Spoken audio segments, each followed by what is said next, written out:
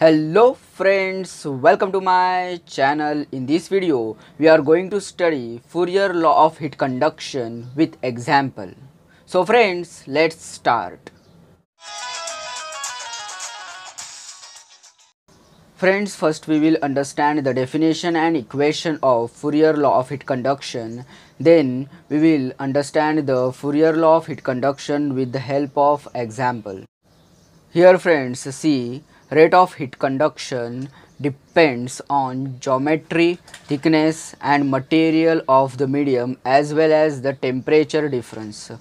Okay, here Fourier law states that the rate of heat conduction per unit area is directly proportional to the temperature gradient.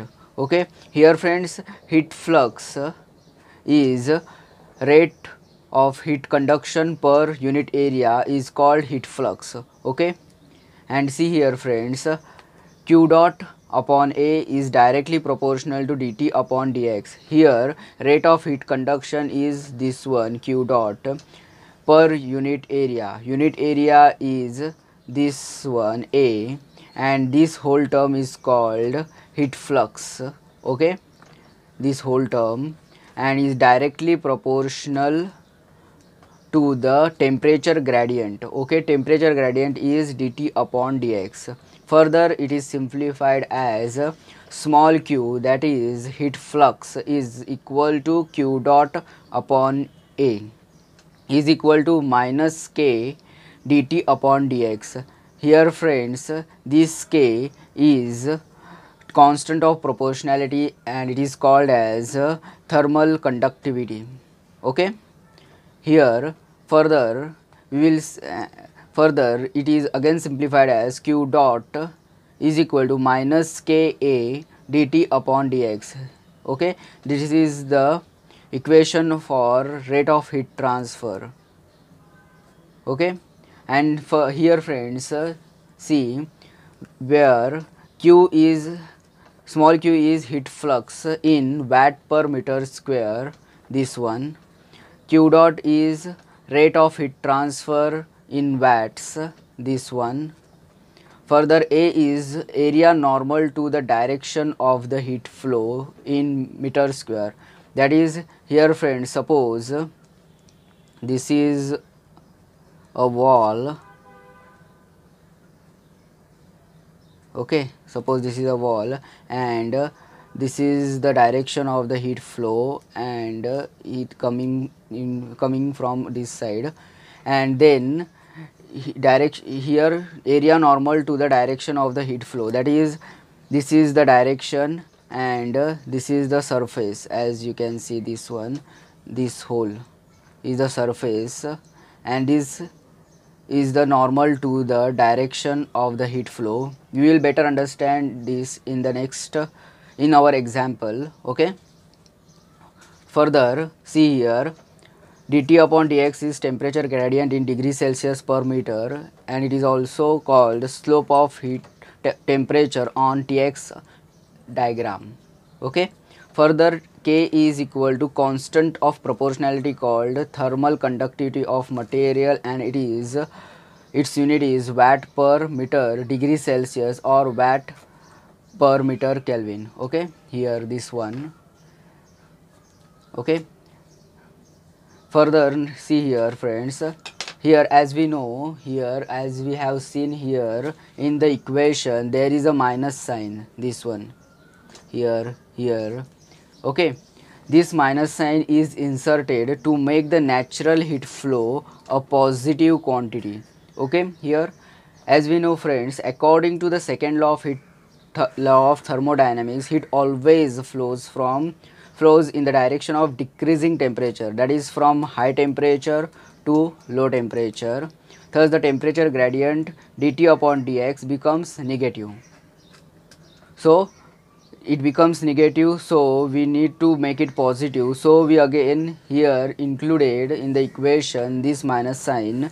So here this minus minus is equal to become plus this one okay now let's see the example here see here friends the wall of a furnace is constructed from 15 centimeter thick fire brick having constant thermal conductivity 1.7 watt per meter Kelvin. Two sides of the wall are maintained at 1400 Kelvin and 1150 Kelvin okay respectively. What is the rate of heat loss through the wall which is 50 centimeter by 3 meter on a side. Okay? Now see here friends. Uh, here we have given data as given data is equal to we have here this 15 centimeter is the thickness. Okay? That is here let's take thickness is t is equal to 15 centimeter. Okay? Then we have constant thermal conductivity that is k is equal to 1.7 watt per meter kelvin.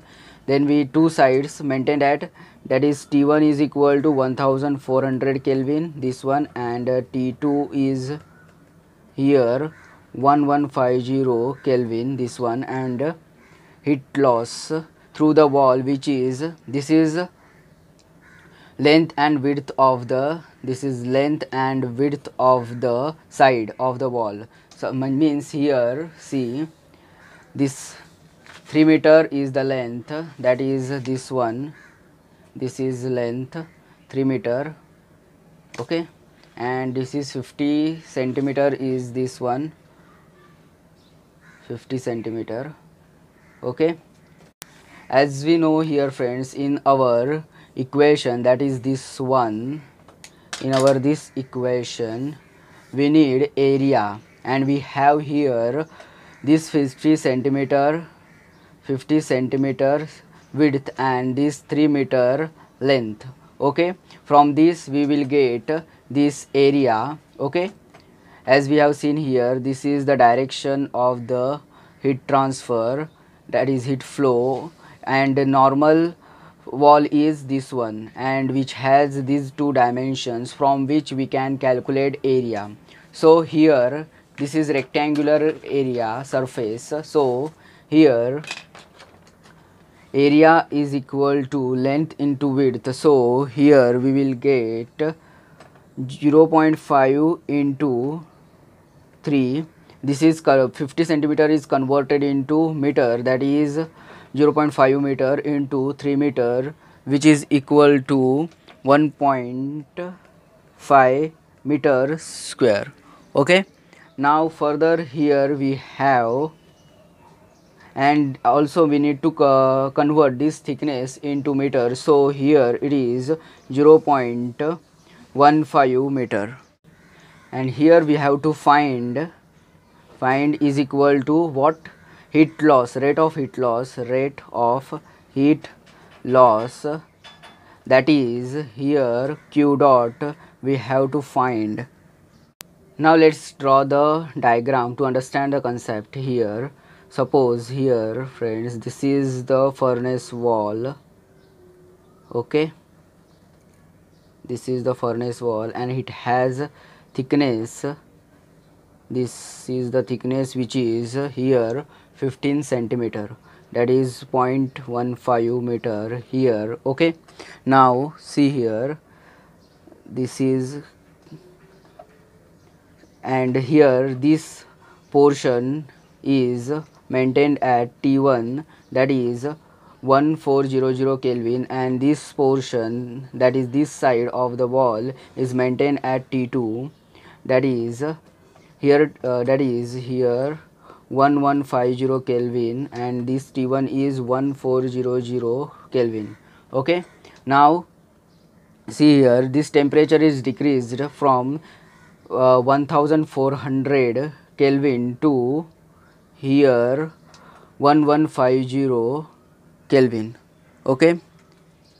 This is and he this is the heat transfer that is q dot here okay? From this part to this part this is the heat transfer and here we have thermal conductivity of the wall which is 1.7 watt per meter kelvin okay? Thermal conductivity that is k we have here. Here we need to consider three assumptions which are here first assumption assumption. First is steady state condition. Second assumption is one dimensional heat conduction through the wall. Okay one dimensional heat conduction. Conduction through wall.